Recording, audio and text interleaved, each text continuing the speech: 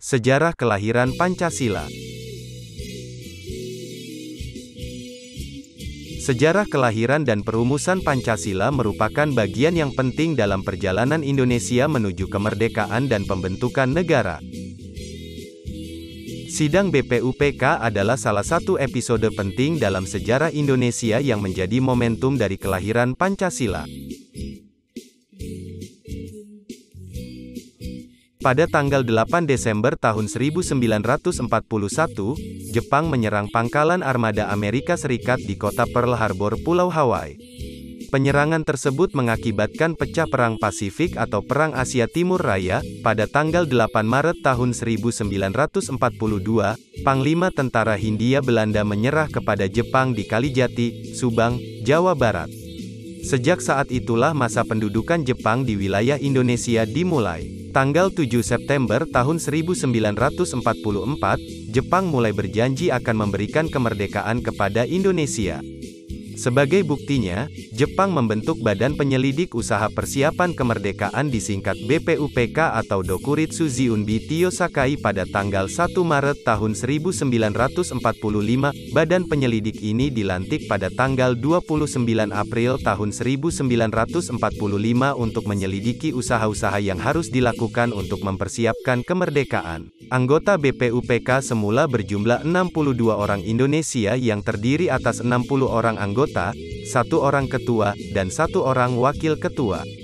Sebanyak delapan orang Jepang, yaitu satu orang wakil ketua serta tujuh orang anggota lebih berperan sebagai pengamat dan tidak aktif dalam sidang-sidang yang diadakan. Jumlah anggota bertambah menjadi 76 orang pada saat sidang BPUPK kedua dalam perumusan Undang-Undang Dasar. Berikut susunan anggota BPUPK,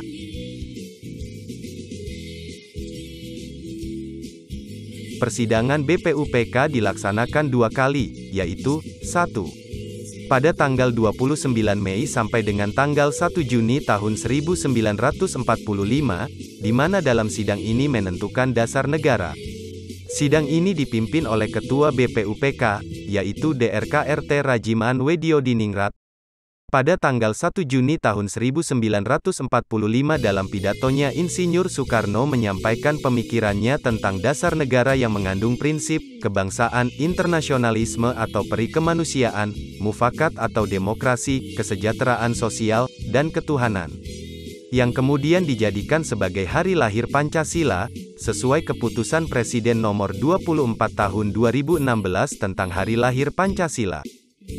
Setelah berakhirnya sidang BPUPK yang pertama, dibentuklah panitia kecil yang terdiri atas delapan orang yang diketuai oleh Insinyur Soekarno. Berikut daftar susunan panitia kecil. Panitia kecil ini kemudian diganti menjadi panitia sembilan dengan daftar susunan anggota sebagai berikut,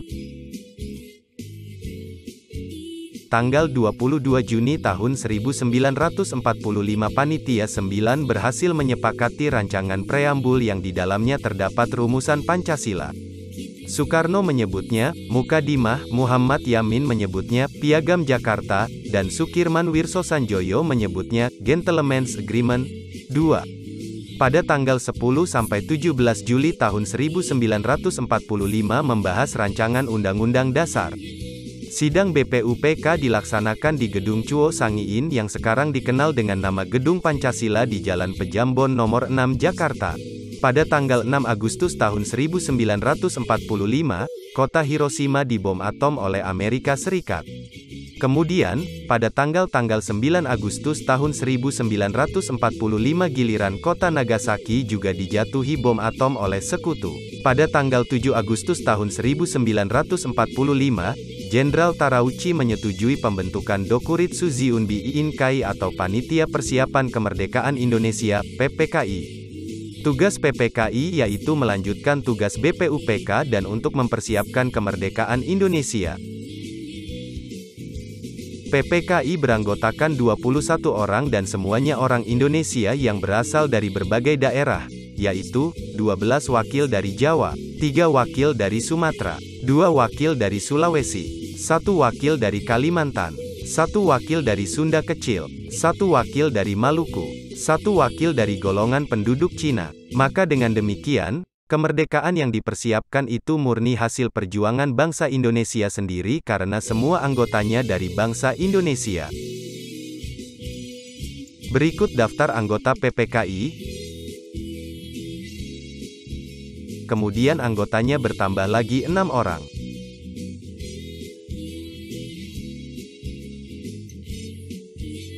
Tanggal 16 Agustus tahun 1945 terjadilah peristiwa rengas dengklok oleh sejumlah golongan muda dari perkumpulan Menteng 31, di antaranya Soekarni, Wikana, dan Hairul Saleh.